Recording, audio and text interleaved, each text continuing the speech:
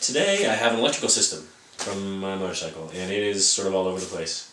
I've been uh, sitting around trying to figure out what's going on with it. Um, had to dig out a whole bunch of parts, which I didn't think that I needed, but I ended up did. I, that I did. So um, I was able to put it all back together, plug it all back into the battery, and uh, let's see, turn it on. Uh, some loose connections some places.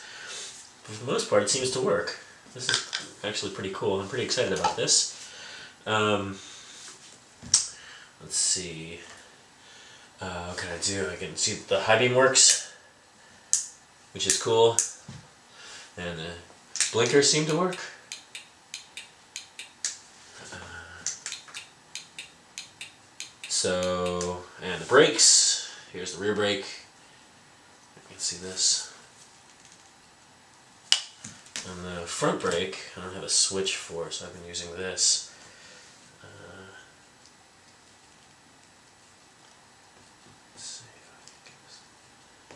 there, the front brake's working too. That's good. One thing is that the front turn signals seem to always be on.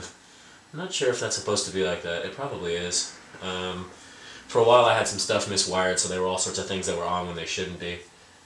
Um, I'm pretty excited that the turn signals work. They were not working for a good long time. Uh, so, that's pretty much it for this one. Um, working electrical system, this is good. I was thinking about either uh, ripping it out or trying a different one, but um, looks like I'll probably just stick with this. Uh, there's a number of pieces here. Let's see if we can find them. Like, this is the fuel fuel uh, fuel cutoff relay. And we have this whole bundle of stuff, which is for the uh, um, see this is this whole bundle of stuff is, is for various parts of the engine and whatnot. So obviously I don't need these anymore. Um, that's good though. So anyway, I think I'm gonna hang on to it. Don't have to rebuild it from scratch, which I thought I might try to do, but eh, I'll probably just hang on to it and see how it goes.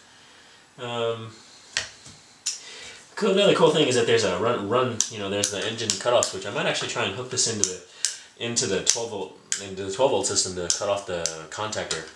Um, so I have yet another switch along with the ignition uh, key switch and everything. All right, so that's it for today, and um, it's exciting. Got some good stuff going on. Thanks a lot. See you around.